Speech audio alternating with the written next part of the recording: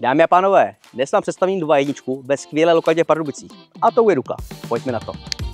Tenhle byt se nachází ve druhém patře zděného domu, který prošel částečnou revitalizací. Samotný byt je v původním, ale velmi udržovaném stavu a jeho celková výměra je 70 metrů čtverečních. Velkou výhodou je půda přímo nad bytem, kde může po domluvě s SVJ vzniknout mezonet, stejně jako u vašich sousedů. V okolí najdete školu, školku, obchody i sportovní vyžití. Parkování je bezplatné a téměř bezproblémové.